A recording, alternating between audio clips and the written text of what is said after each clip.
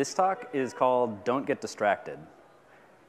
It used to be called Finding Responsibility, but this name worked better. You should be able to tell why. After my brief introduction, I'm going to hit the ground running with some potentially disturbing content. It includes references to, but not descriptions of, killing and suicide. Please take the next few minutes to decide on another talk if you'd like to. There won't be any judgment, and if you're sitting in the middle, people will be happy to give it out of your way. Yes, these slides are blank. No, they are not broken. I've been a developer for about 10 years. I have a bachelor's degree in software engineering. I've worked in software jobs in multiple industries, including at a consultancy where I worked with many clients' varying business needs. I built tools from a social support network for people with type 1 diabetes to a shipping rate comparison service. Uh, I've even worked for banks building task management software. Now I work for Heroku on the support team, where I get to help all sorts of developers like you run your code and solve your interesting problems on our service. For the past four years, I've organized Keep Ruby Weird, a community-oriented Ruby conference in Austin, Texas.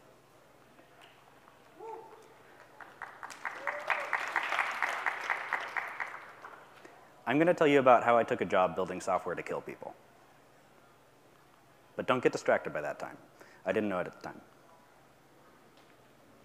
Even before I walked across the stage at graduation, I accepted an offer for an internship.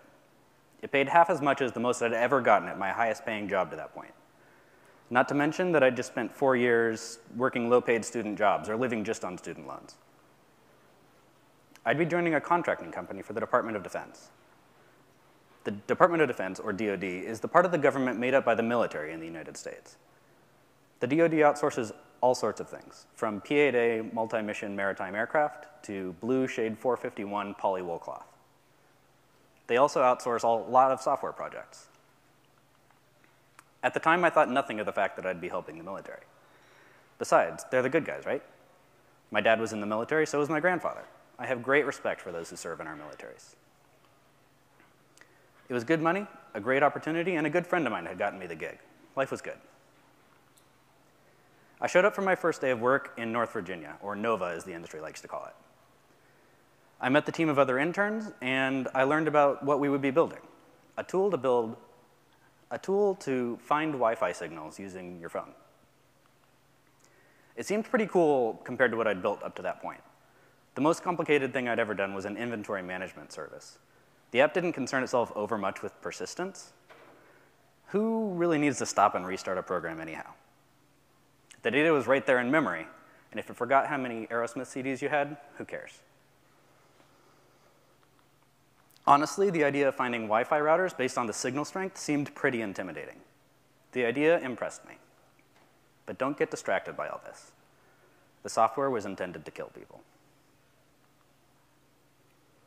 I joined the team after they'd already gotten started on the project. The gist of the tool was that they would look at how Wi-Fi signal strength changed as your phone moved around. If the signal strength got stronger, you were probably moving closer to the source. If it got weaker, you were probably moving away. To find this information, we'd collect two pieces of information for each Wi-Fi signal in range, your phone's location and the signal strength of that Wi-Fi source. To predict the actual location of the Wi-Fi signal, we used a convolution of two algorithms. The first was R squared. It measured the distance between the signal strength we'd observed and the expected signal strength at that distance. And it did that for every point in the search grid. Locations that had the lowest R squared error rate were the most likely to be the source of the Wi-Fi signal.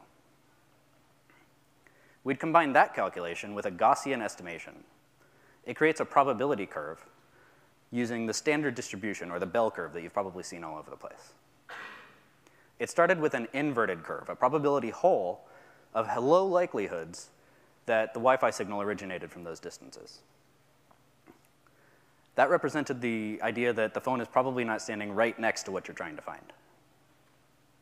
It added a normal bell curve up that was a high probability that the source originated from a distance further out. The algorithm adjusted the width and height of each of those curves by consulting past measurements it created a heat map of probabilities for the signal source. We'd normalize those two probabilities for each location in a search grid, and we would combine them. The combination of those two algorithms was much more correct than either individually. We stored this probability matrix for each location that the phone collected from. Using these, we were able to give you the distance if you moved in a straight line from how far away you are from that Wi-Fi source. If you turned a corner, we could also tell you the direction so that you could find it in two-dimensional space. Climb some stairs and we'll give you altitude as well. The technology was the most interesting thing I had built to that point. It may still be the most interesting thing I had built. But don't let that distract you. It was designed to kill people. I mentioned earlier that I had a software engineering degree at this point. My teammates were much earlier in their educational careers. Most of them were a year or two into their four-year programs and were math or computer science majors. My expertise was in the design and process of building software, while theirs was in the theory of mathematics or how computers are used. I'd help to translate the working algorithms that they built in MATLAB into the Java code that would need to run on Android phones. And let's be honest, we spent plenty of time deciding whether we preferred Eclipse or NetBeans. Can I say how happy I am that as a Ruby developer, I've not had to figure out where to put a jar file in almost five years? I also spent a lot of time bike shedding code organization and pairing on performance improvements to the code. It worked, but it took almost seven minutes to find the Wi-Fi sources. This was partially because of the code that we translated from MATLAB, which is optimized for working in matrices of numbers, we wrote in nested loops, quadruply nested loops, with some pretty expensive calculations in the middle. One example is that we were calculating the distance between two points. We used great circle distance, which is where you measure the shortest distance between two points on a sphere, such as Earth. The function performing that calculation was being hit hundreds of thousands of times for each collection point often with the same two locations. It was very slow. We solved that by implementing a hash with the keys where the two locations were, of the two locations and the values or the distances between them. This at least meant that we didn't have to redo those calculations. That and other optimizations we made sped up the performance from seven minutes to a few seconds. But don't get distracted. That performance made it faster to kill people. The accuracy of the locations wasn't fantastic either. I don't remember exactly what it was, but the number 45 feet sticks in my head. That's about the length of a shipping container. That's significant when the Wi-Fi signal strength of 802.11n is only about 100 feet. That meant that we could be almost half the range of that Wi-Fi router away from where it was. It's a big error rate. I talked about the Gaussian estimation, the two curves that were part of the second algorithm. We hard-coded the numbers that defined the width and depth of those curves. They were only starting points, but they were starting points that we used every time we made this calculation. Does anyone know what a genetic algorithm is? It's a type of machine learning program that produces a set of values that optimize for a desired result. Each of the Gaussian estimation values is a gene. The set of values in a genome, the set of values is a genome in genetic algorithm parlance. The genes were our three constants. A fitness function is what the genetic algorithm uses to, to measure the performance of a genome. For my data sets of readings that I was using, I knew the actual location of the Wi-Fi source. So I was able to plug that genome into the geolocation algorithm and measure the distance between the location that it found and the location that I knew was accurate. That was my fitness score. The smaller, the better. Genetic algorithms take a set of genomes called a generation, and they keep a certain percentage of top performers. These performers survive to the next generation as clones. Sometimes the algorithm mutates those clones by adding a Gaussian random value to each gene. That meant that each of them had a, slightly, a slight chance of performing better or worse. New random genomes were created for the remainder of the population. We saved the top performers across all populations, which meant that when I finished the genetic algorithm, I could look at the best performer and plug that into our geolocation algorithm permanently. I let this geolocation algorithm run over the weekend. It was able to increase the accuracy from 40 odd feet to about 10.3, 25% the error of the original. That's less than the GPS accuracy on the phones that we were collecting data from, which means that it was probably not accurate overall. It's called overfitting, and it, it's solved by using separate sets of test and training data. I loved this stuff. Genetic algorithms, R squared, Gaussian random values. It's the sort of thing that you hear about and you learn in school, but they tell you you'll never use again after you graduate. But we were using it in a real project. It was great. But don't let that distract you. This made it easier to kill people. The location algorithm now worked accurately and quickly. The next feature was to add tracking a moving Wi-Fi access point. I briefly wondered why a Wi-Fi access point would be moving, but that wasn't as interesting as figuring out how to find it with our code. We made use of Kalman filters to, to observe three state variables, the position, velocity, and acceleration of the Wi-Fi signal source. Given these values and the time since the last measurement, a Kalman filter is able to improve the current prediction surprisingly well, and it throws away values that have low accuracy automatically. Each time we ran the real-time algorithm, we'd also run the Kalman filter.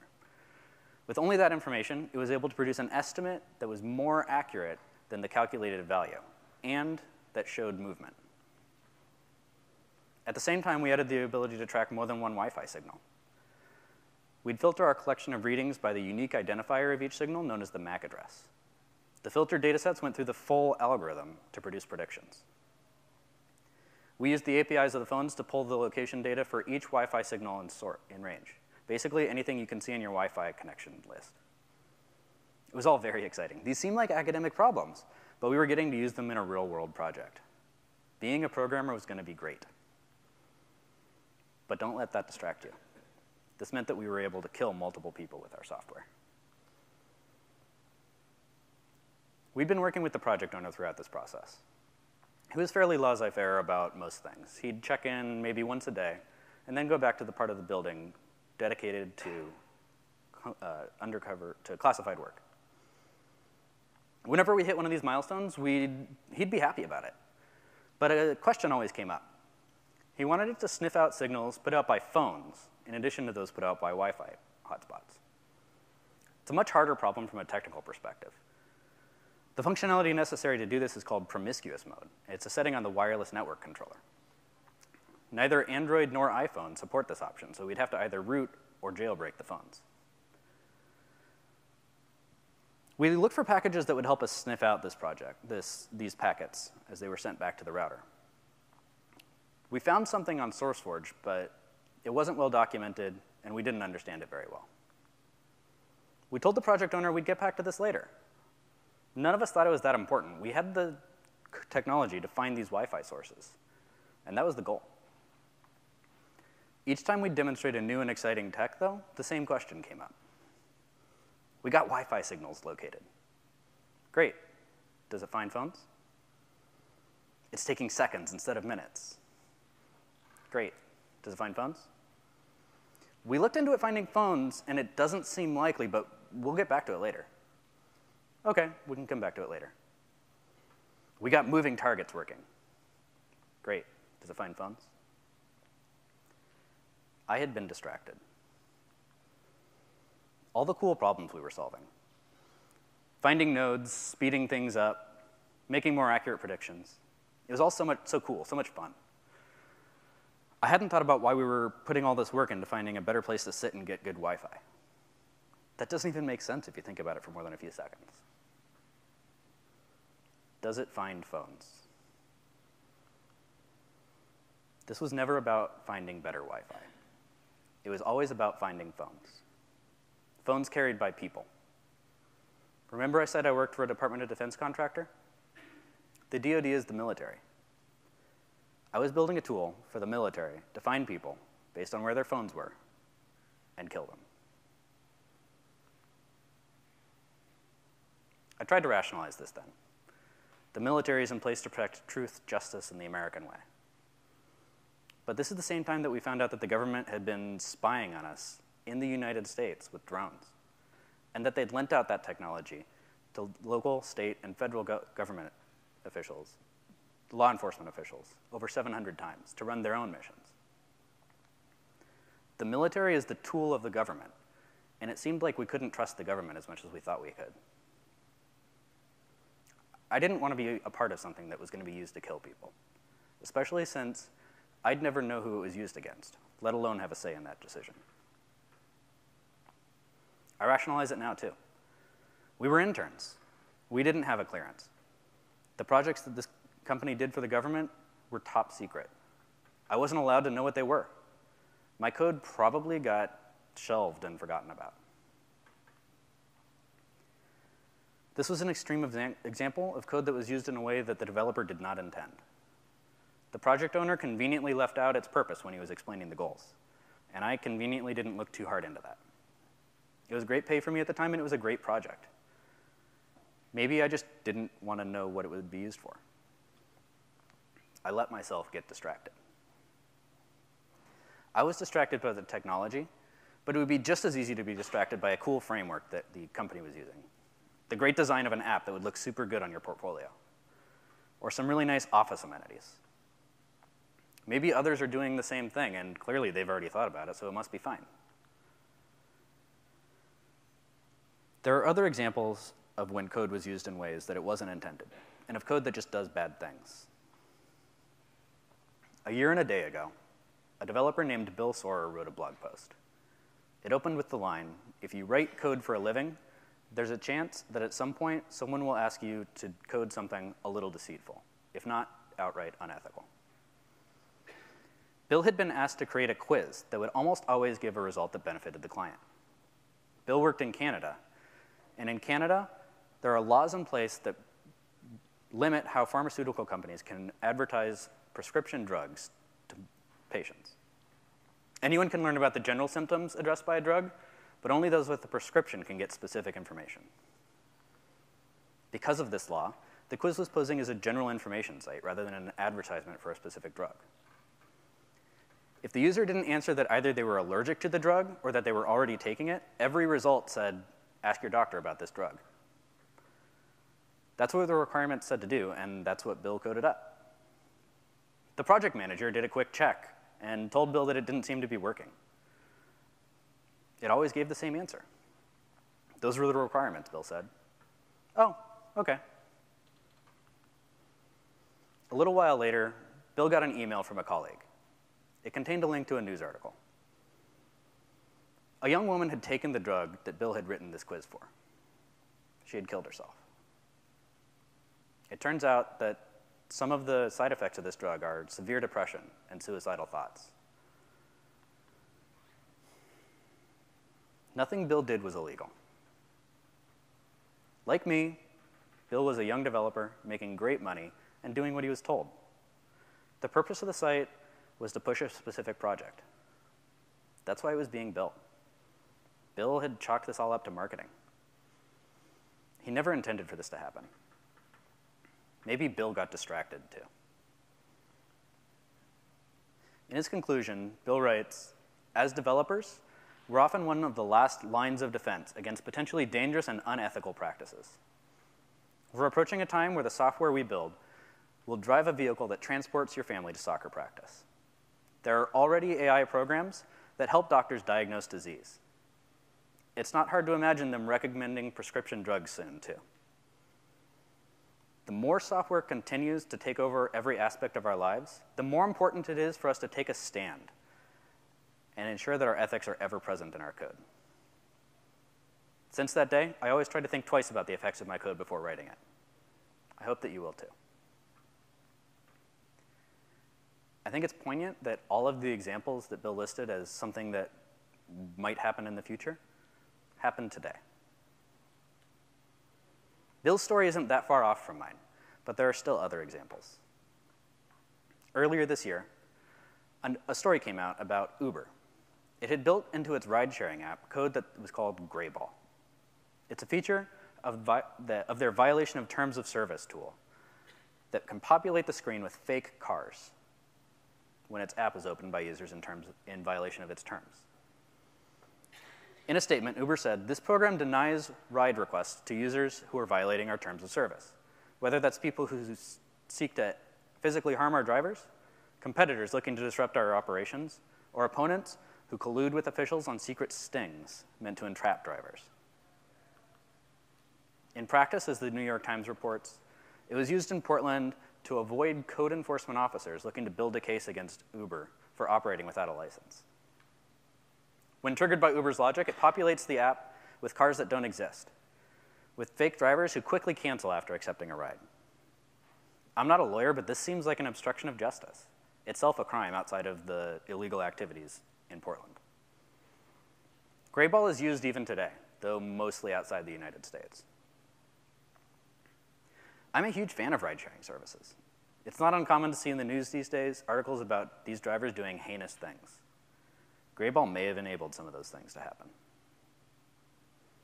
Again, this is an unintended consequence of a tool that was built. Maybe the internal pitch for this was to Greyball users who were violating the terms. People who were under 18. People who didn't pay to clean up their explosive accident last night. Rather than block them, potentially causing them to create a new account, they could just be put into an alternate dimension where they could never get a ride for some reason. That's fine, right? If these developers had thought about the worst possible use for this code, this circumvention of justice might have come up earlier on and it could have been addressed. Maybe they were distracted by the face value of the request from looking deeper at its purpose and uses. There are all sorts of things as well that aren't as black and white. Apps that listen to the microphone to tailor ads to you based on what you say near your phone. Websites designed to exploit psychology to take up as much of your free time as possible, which have been linked to exploding rates of depression. Any number of apps that opt you into an email newsletter. These aren't as obviously bad as the previous examples, but at least in my opinion, they're still kind of shady. This value system is different for others. Richard Stallman, for example, believes that ebooks are unethical. Others may think that's a little eccentric, but that viewpoint agrees with his overall system of beliefs. There are actually words for what society decides are good or bad versus what you or I or Richard Stallman individually believe ethics and morals. While modern psychology more or less uses these terms interchangeably, an understanding between you and I will be useful later on. Ethics are imposed by an outside group, a society, a profession, a community like ours, or even where you live. Religions provide ethical systems, so do groups of friends. Societies, in whatever form, determine right or wrong, good and bad, and they impose those definitions on its members. Ethics in societies at the local, state, and national levels are often coded into law. Morals, on the other hand, are a more personal version of the same thing. Society as a whole imposes its mores on smaller communities, and all of that trickles down to the individual level. That's not to say that your morals can't conflict with society's ethics. Maybe you believe that freedom of speech is a core tenet of human rights, but you live somewhere where defacing political or religious objects is wrong. Let's not get distracted by morals and ethics just yet, though. We'll come back to those later. The unifying factor of all of these stories is that developers built code that did these unethical or immoral things. As a profession, we have a superpower. We can make computers do things. We build tools, and ultimately, some responsibility lies with us to think through how they're going to be used. Not just what their intention is, but what misuses might come out of them. None of us want to be building things that will be used for evil. The Association of Computing Machinery is a society dedicated to advancing computing as a science and profession. ACM includes this in their code of ethics and professional conduct. Well intended actions, including those that accomplish assigned duties, may lead to harm unexpectedly. In such an event, the responsible person or persons are obligated to undo or mitigate the negative consequences as much as possible. One way to avoid unintentional harm is to carefully consider potential impacts on all of those affected by decisions made during design and implementation. So, how can we carefully consider potential impacts? Honestly, I don't have the answers. I don't think that there is a universal answer because I have to believe that if there was, we wouldn't have this problem. We wouldn't be building this code in the first place. I do have a couple ideas, though. One I got from my friend Schneems. Add to the planning process a step where we come up with the worst possible use for our software. Opting in folks to a mailing list by default. The worst case is probably that we send them a bunch of emails and they unsubscribe. Maybe they stop being our customer. As Schneems said, am I willing to sell my hypothetical startup soul for a bigger mailing list, especially when that might be all that keeps my company afloat? Yeah, why not? And I can see that. I understand it. I still think it's a little bit shady. It's not a best practice, but it's not physically hurting anyone. If I had sat down and thought through what my code would be used for when I was building the Wi Fi location app, I would have come to a much different conclusion. Actually, I think that thinking through the worst possible uses of a code could be a fun, ex fun exercise. You might come up with some pretty wacky examples. If we send Batman an email, and he has notifications for new emails on his phone, then he might be looking at his iPhone when the Riddler drives by in the Riddler car. And he might get off his witty one liner at the crime scene Riddle me this, riddle me that. Who's afraid of the big black bat? It's not so plausible, but it shows that you can come up with some pretty wild, out there examples that aren't obvious at first glance. Another thing that I think I should have done, and that we can all do more of, is to just not take the request at face value. The project owner at the defense contractor didn't spell out what the code would be used for. But at least in retrospect, it wasn't a big jump in logic. We're going to build an app to find Wi-Fi signals is all true, but it's not the whole truth. Asking myself or them why enough times might have led me to an earlier understanding. Why? To find the Wi-Fi signal source. Why? To go to them. Why? Why? Why? Comedian Kumail Nanjiani, best known for the TV show Silicon Valley and his recent film The Big Sick, took to Twitter recently on this subject. I know there's a lot of scary stuff in the world right now, but this is something that I've been thinking about that I can't get out of my head. As a cast member on a show about tech, our job entails visiting tech companies, conferences, etc. We meet people eager to show off the tech. Often we'll see stuff that's scary. I don't mean weapons. I mean altering videos, stuff with obvious ethical issues. And we'll bring up our concerns to them. We're realizing that zero consideration seems to be given to the ethical implications of tech. They don't even have a pat rehearsed answer. They're shocked at being asked, which means that nobody is asking these questions. We're not making it for that reason, but if people choose to use it that way, it isn't our fault. Safeguards will develop. But tech is moving so fast. There's no way humanity or laws can keep up. We don't even know how to deal with open death threats online. Only can we do this. Never should we do this. We've seen that same blase attitude in how Twitter and Facebook deal with abuse and fake news. Tech has the capability to destroy us. We see the negative effect of social media. No ethical considerations are going into the development of these technologies. You can't put this stuff back in the box. Once it's out there, it's out there. And there are no guardians. It's terrifying. It's a major problem when we're given so much power in tech, but we can't do anything to ensure that it's used safely. Thinking about what we're doing and being careful not to build things that can be used maliciously is really important, and it's the least that we can be doing.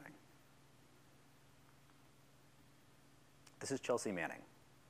In an interview with the New Yorker Radio Hour, she's discussing the ethics of what developers do.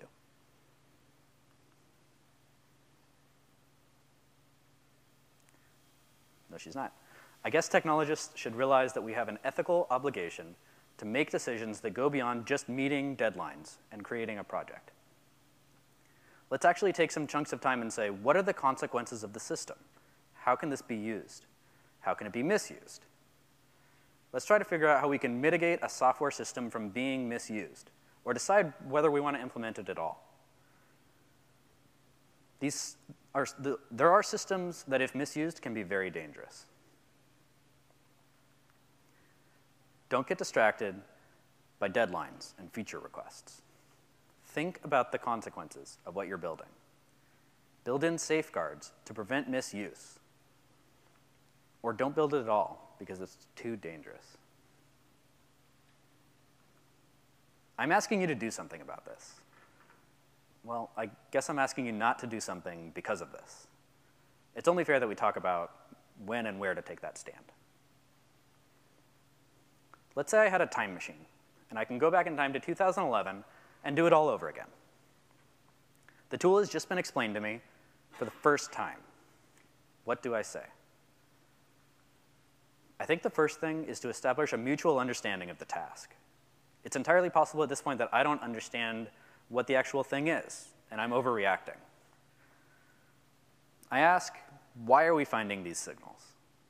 The project owner says, we want to find people's cell phones. Who's finding them and why? I ask. I don't know, probably some soldiers in the Middle East. Why? I repeat. I can't tell you that. I can't tell you that is something that I get a lot from the project owner. It's code for I have a clearance and I know things about this project.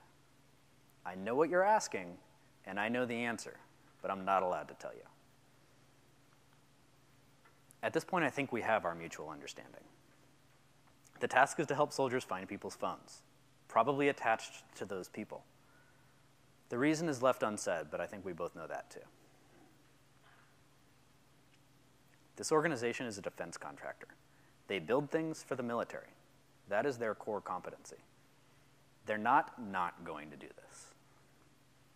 On the other hand, I care a lot about not killing people. The company's goal is to, kill, to, to build things for the military. The military is necessary, and sometimes they need to use force. Personally, however, I don't want to be a part of that. If my goal is not to build those tools, then there isn't a good fit for me at this company. That probably means that the worst case here is that I'm going to leave today without a job. Either I'll say no and they'll fire me, or I'll say, and I'm not comfortable with this, but good luck, and I'll quit. Those are worst case scenarios.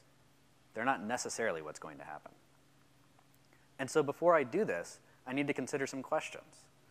Can I afford to leave here without this job financially? Can I rely on my personal network to get me a new job? Have I built up enough trust with my employer where I can go to this and be heard out? The answer for me at the time was no to all of those questions. Sometimes something is important enough that you still need to do it. But that's a very personal decision. There's a lot to go into these decisions, and they have consequences. I would like to think that I would still say no. Let's look at another situation where someone did the ethical thing.